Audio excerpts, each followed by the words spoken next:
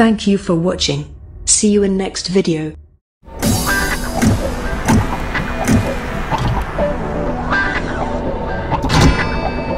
Customs Net Warriors.